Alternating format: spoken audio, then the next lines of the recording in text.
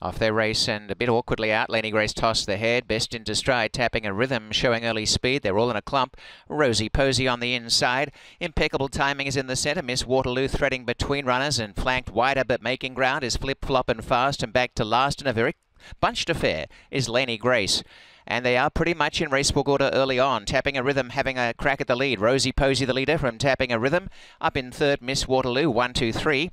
Laney Grace switched course to go up on the inside, and back in the centre in uh, impeccable timing is second, now last, and on the outside is Flip Flop and Fast. A quarter of a mile to run, and the leader Rosieposie skits along in front by a length, running pretty wide there, tapping a rhythm. Miss Waterloo down the outside is finishing on gradually. Rosieposie still out by a length and a quarter, tapping a rhythm. Miss Waterloo finishing well. Miss Waterloo coming on the outside. It's Rosieposie still in front.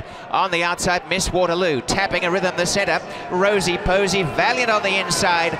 Rosieposie has fended them off. Wins by three quarters, Miss Waterloo. Ahead away tapping a rhythm.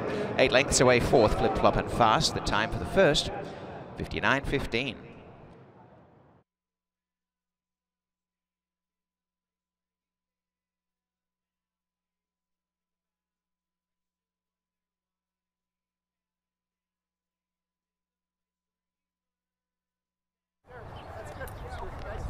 good out there?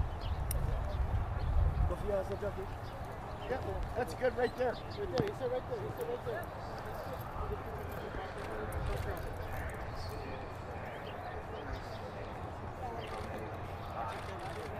Thanks, guys.